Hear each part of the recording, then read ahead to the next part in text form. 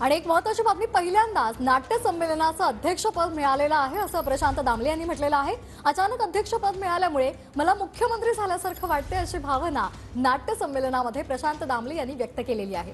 मंत्री हे तीनशे पासष्ट दिवस चोवीस तास अभिनय करणारी मंडळी आहे त्यांच्या कार्याला माझा सलाम असं प्रशांत दामले म्हणालेले आहेत.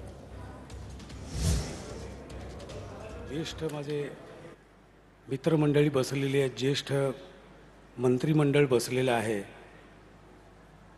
मंत्रिमंडळ म्हणजे तीनशे पासष्ट दिवसातले चोवीस गुणिले सात तास अभिनय करणारे आमचे ज्येष्ठ आणि श्रेष्ठ. आम्ही फक्त तीन तासच करत होते चोवीस तास करत असतात. किती अवघड आहे. खूपच अवघड आहे.